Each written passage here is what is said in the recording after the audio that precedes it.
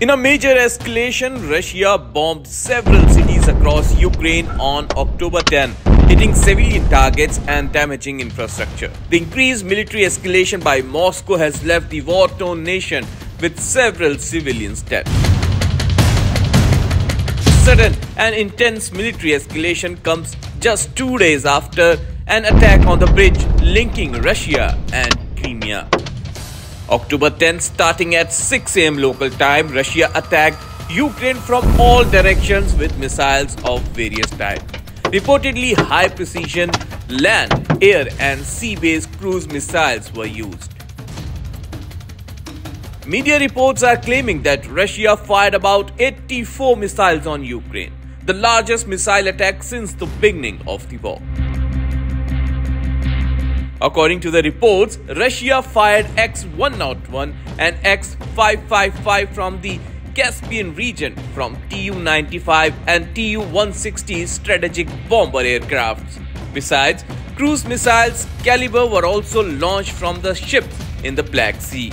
S-300 and Tornado-S multiple rocket launcher system also used.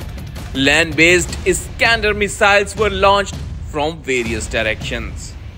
Ukrainian President Volodymyr Zelensky has said that out of 84 Russian missiles, 43 were shot down.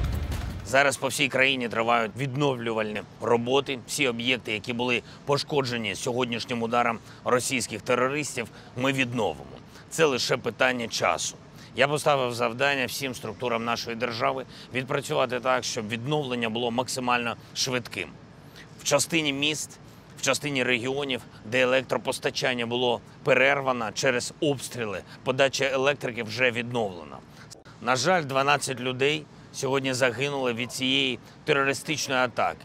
Більше 80 поранено або травмовані. Усі, хто звернувся по допомогу, отримують її. З 84 російських ракет, що були запущені проти України, 43 збиті.